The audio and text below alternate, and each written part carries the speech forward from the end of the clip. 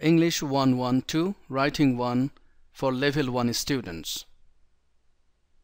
Writing 1 Course Objectives After successful completion of the course, students will be able to recapitulate and reinforce the elementary work on writing that had been done at school level,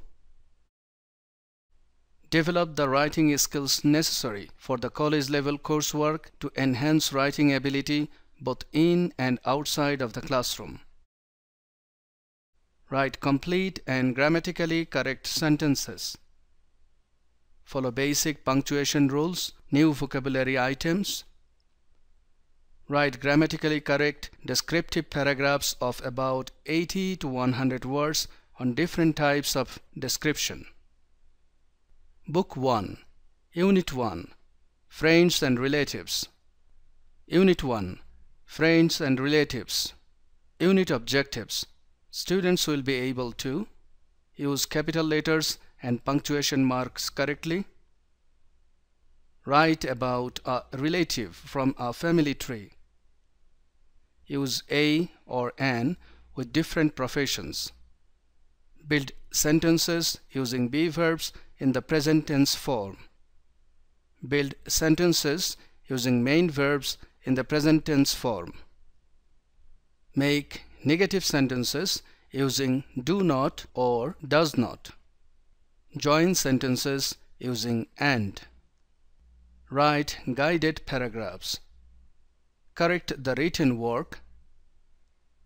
Spell correctly, especially some relatives, professions, numbers, etc. Using capital letters. Use capital letters for the names of people. For example, Ali, Nora. Cities and countries. For example, Riyadh, Saudi Arabia. Companies, banks, hotels, etc. For example, Nissan, Gulf Hotel. Languages, for example, Arabic, English, and at the beginning of a sentence. For example, Ali is my friend. Here we see the name of a people, Ali. Here A is capital. Another name, Nora. Here N capital. Cities and countries, the name of a city here, Riyadh, and R is capital. The name of a country, Saudi Arabia. In both the words, S capital for Saudi and Arabia A capital. For the names of companies, banks, hotels, we can see the name of a company, Nissan, and we find N capital. For the hotel, Gulf Hotel, we find G capital and H capital. For the name of languages, for example, Arabic, A for Arabic and it is capital, E for English, E capital. And at the beginning of a sentence, Ali is my friend, we can see A is for Ali and it is capital. We can even write capital letters at the beginning of anything, name of things like books are kept on shelf.